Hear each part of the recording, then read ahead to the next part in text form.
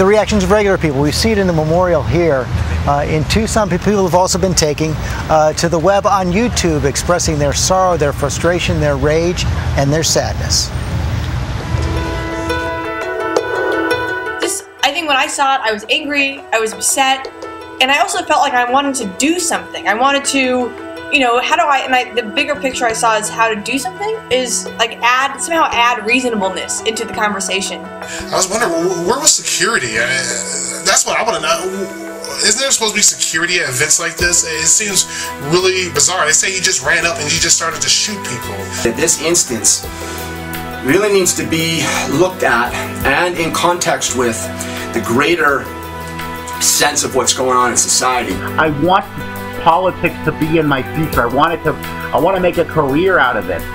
But I can't do that if we're killing our Congress people. As a nation, let's just put away our Democrat name and Republican name and just unite as a nation. Keep uh, Representative Giffords in your prayers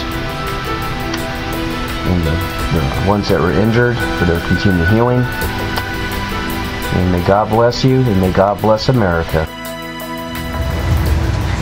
the virtual town hall on YouTube. We're going to be back here at 11 a.m. Eastern Time as President Obama leads the nation in a moment of silence for the victims of this tragedy. And you can follow us all day long on abcnews.com and on our Facebook page. So many of us at ABC News, myself included, have Facebook pages. We hope you'll uh, follow us there. We'd like to hear from you there as well. For all of us here at ABC News and the team over at Facebook, have a good day.